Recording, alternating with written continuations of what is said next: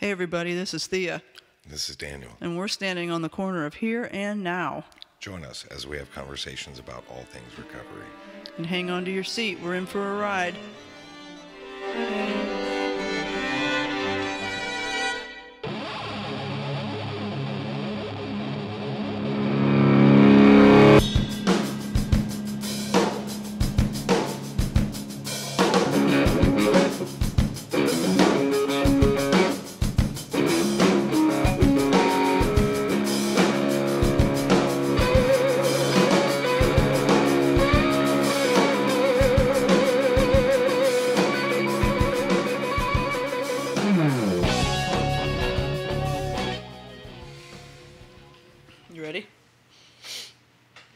Microwaving? and we're rolling. We're rolling. Okay, that's okay. Can we get a red light? Like just to go in here? Like, do you want a mood setter? Not not a no, not like the don't you don't have to turn on your red light. Not like the prostitution of Sting songs, but uh, Roxanne. but of uh, like isn't that what they do? in Recording With is the on. recording light. Yep. The recording light. Well, if anyone's wondering, that was the uh, awesome Kenny Cordray Rojo Bombastico off of his uh, Love Street album. No, wait. It takes It takes everything. everything album. Sorry about that. Kenny Cordray and Love Street takes everything album. But Kenny's part of this history. That's why we're doing doing this. So welcome to show number one.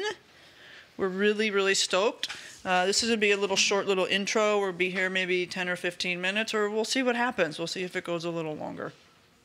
But we wanted to jump on and just uh, talk a little bit about why we're doing this and where it's coming from um, and all that kind of stuff. So why are we doing this? It's a good question. Um, one of my thoughts, I was trying to explain this to my mom, um, and and I said, there's a lot of really good recovery, and there's a lot of people that are really seeking in this area, and there's that that vacuum of unapproachability. A lot of these people that have really been walking this path a long time, and uh, and trying to go to the next level and dig deeper in recovery. Um, you know that a lot of their stories are, are pretty obscure, or people don't necessarily have that. And uh, so, being that that's something akin to our heart, something that we feel very passionately about, is just continuing to grow, just opening that up, and somehow like broadening that conversation and broadening that to all the people that we get to share this thing with. Yeah, and we find ourselves having these uh, really great conversations in the car when we're hanging out, or at lunch when we're hanging out. Um, and it's in those little moments. And we've often said, man, we should have a recorder going right now. This is like really good stuff. So we're hoping to bring the car rides and the lunches to the kitchen table in my kitchen. That's where that's where we are. Everybody is we're in my kitchen in Seabrook. Tech, Texas, if you're out there somewhere else in the world listening. Um, and that's kind of exciting to me. This is something I've been wanting to do for a really long time. It's kind of weird, but I've just like wanted a podcast. I've got like a hundred ideas, but over the last couple years, after doing groups in the treatment centers and being gone back and getting in touch with the newcomers and being around people that are new to re- recovery and trying to get clean and sober and bringing these little tidbits out um, but having a way to get that information out. Because there's so many people out there that are really successful in recovery. And it's like i think people need to hear that. Like you're saying these stories of these people they come in with crazy stories but they have great stories of their clean time and what they're doing in their lives and the people they're helping and the successes they've had and the failures too obviously because it all goes hand in hand but to be able to have those conversations in a venue um, where we're not worried about what we share so much and we can bring in outside influences a little bit and some of that kind of stuff because a lot of, it goes for me along with my personal growth and you know all the other things i do and you know the books i read and the tony robbins and all the stuff. It everyone's saying the same thing just in a in different words and in a different way. So if we can bring that here to where we can kind of all absorb it and stuff stuff like that so yeah, yeah, sharing things. I mean, there, there's so much capacity to be able to do that today. And and so you were talking about the groups and mm-hmm. things. And there's there's every now and again in a meeting when you hear someone share, or in in doing these groups, or talking to people, or having the conversations at lunch. All these things just that there's a magic that'll happen sometimes where some things start getting discussed and the energy builds on each other. One person will say, Right. "Oh," and it sparks this, and it builds into something that that's of value. I think, and so to try to organically capture that best you can with microphones and headsets, Mm-hmm. Yeah. it would be really cool um, to to broaden that out. Exactly. And my one of my original ideas was to try and interview, if you will, or have conversations with people who are successful. And I'm doing the funny air air quotes right now. Um, in their re- recovery, whether it's they've had big business successes, or whether they've had some sort of spiritual successes, or they have, um, you know, really great marriages and kids, or any combination thereof. Um, they've managed to rack a whole bunch of days together. We were laughing earlier about how many days clean we have and all that kind of stuff. So you know, clean time does count. And and um, where does the rubber meet the road with this stuff? And you know, you were telling me earlier about someone you were working with and the type of four step they're doing and how all this stuff evolves and changes. And people don't realize that, I think, a lot of time. And um, part of my big dream for this thing, even too, is like, what if people were listening that aren't in the program? Like, what if a, a parent heard this, or a spouse, or just somebody driving in their car one day came across this? Like, we could really help a lot of people um, that maybe didn't even realize that they could gain anything from from anything that you know. I should say we have to share, for lack of a better way to put it. I think that could be like really, really huge. I think it could. You you you had said it one time in uh, in a talk that you were doing over at uh, the treatment center, and said that, and this is something that I was taught that it's in everything. And that recovery is not really about it's about how we live. It's about how we interact with the world and this little plane of existence we're on. And it's in everything. And you start seeing it in everything. Um, and so I think it this type of all these type of topics and things that we want to talk about would be good for anybody. This is just human stuff at some point because we're all in recovery from something. Um, it's just some of us maybe it's a bit more apparent. Um, I know with me in the state of Texas and law is very apparent Sure. that there was an issue. I think another thing uh, about this is that it's this is our lives. This is what we're passionate about. This is what we talk about. You know, when I go home with uh, with Haley in the evenings, that's what we talk about. That's what we get excited about. We're talking about recovery. We're talking about spirituality. We're talking about different people and well, what's going on with them and how can I take something away from that? Whether it's something I can avoid, whether it's something that I can add to my life. And with you and I, that's that's been the basis of our relationship is just that passion for recovery and growth. And that's that's why we're friends. Is that why we're friends? I think so. I'm not sure why, but We'll that's a good theory. We might have to do a whole show on that. ay, ay, ay. Yeah, and I think the recovery part, you know, it's funny because I think we just happen to be two people in recovery. Right? So that's our jumping off point. Yeah. You know, we're gonna. This thing will start with, you know, twelve-step back background, things that we heard in a meeting, something we saw, what what whatever, blah blah blah. But I really think it's a jumping off point. Like we don't have a a path for this thing. It's always on the path. We're all always on the path. Like we always say, well, that person's on the path. I'm on the path. The show's on the path, and it's gonna kind of go wherever it goes. You know, and you know me, I like a good rabbit hole. I love a good tangent. So you know who knows who knows what we may end up talking about who knows where this thing may end up going um, but just having that openness to let our higher powers take it wherever Yes. it's going to go um, and maybe always coming back to the basics too you know and like how do we work the basics into all of this um, and just being able to go out from there Yeah, that that was another thing that I was talking about with my mom. She had the question. She said, "Well, I'm sure that Thea has all this lined out. I'm sure that she's got it. You know, this is what the first episode will be, and this is what the second episode will be." And I was like, "No, no, no. That that's absolutely not what's going to happen because that takes away from it. It it needs to be a path. It needs. I like. I like that you said that. That this is a path. Everything's a path, and that it can flow and be organic and talk about anything, and it just be really open because that's when the magic of life happens. I think when we try not to control it, not to say, oh well, if it's rigid and scripted, then I don't think it rings true. Kind of like in the meetings when when you hear somebody or anybody when they're sharing something and it's coming from their intellect. I don't get so much out of it, but when it's coming from the heart, even if it's not well articulated, um, even if it's not really that great, but if it's from the heart and real, I feel it. Look the whole room feels it, right? Absolutely.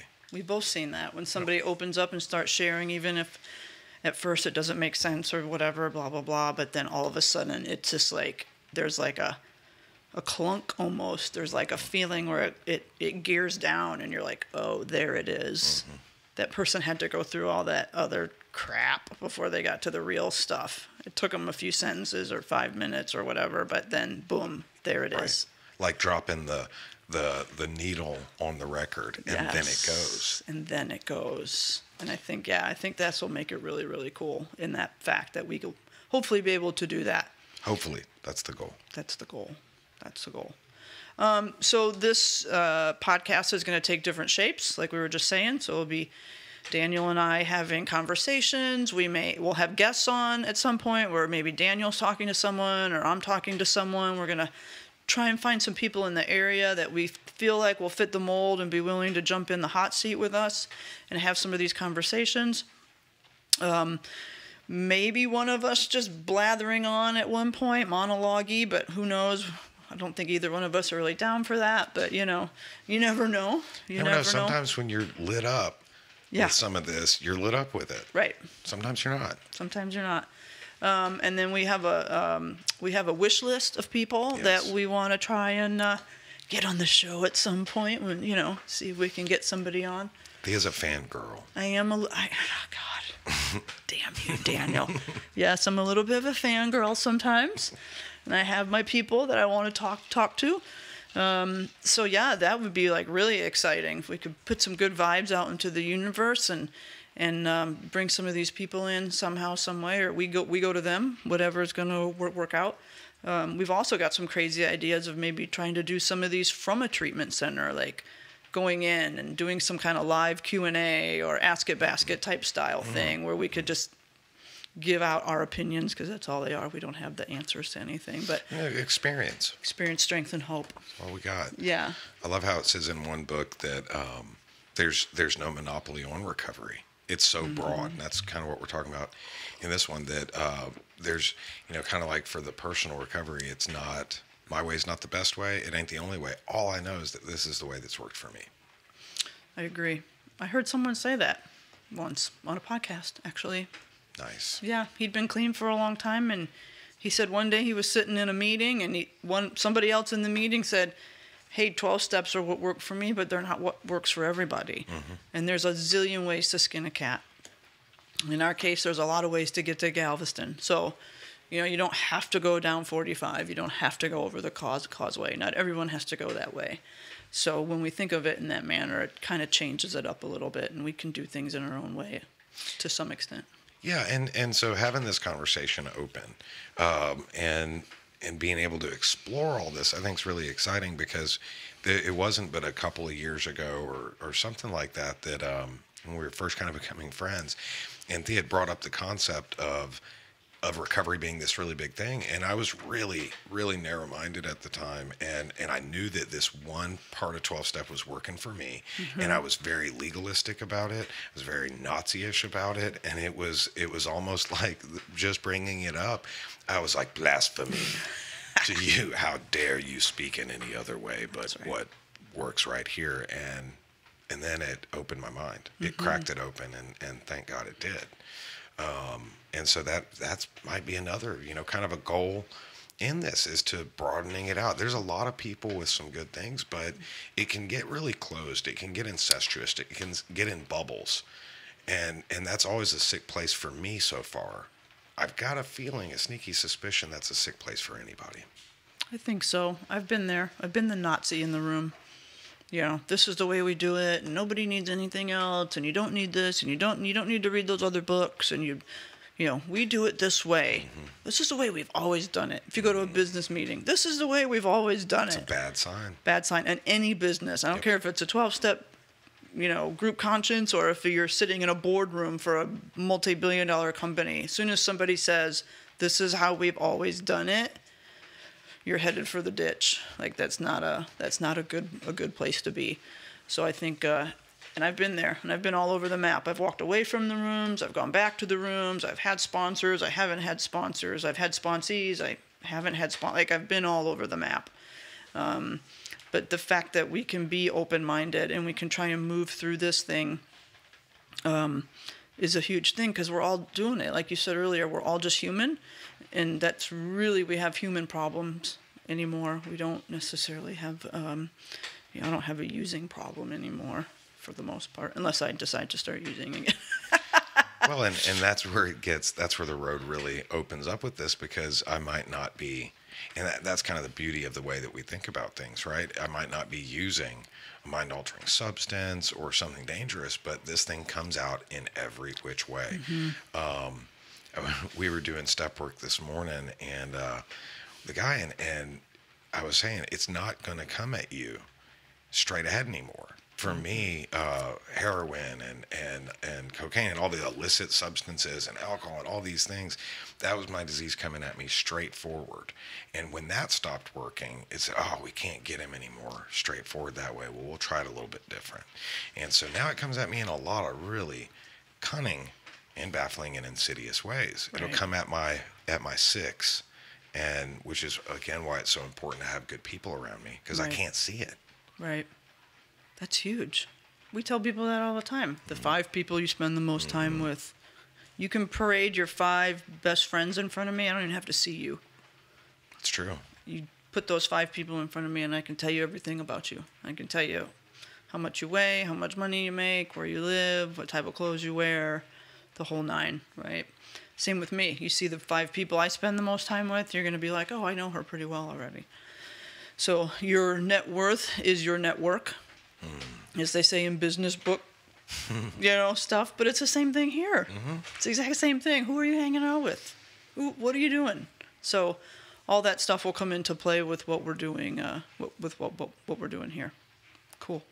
Anything else that we want to uh, cover in this first little tidbit?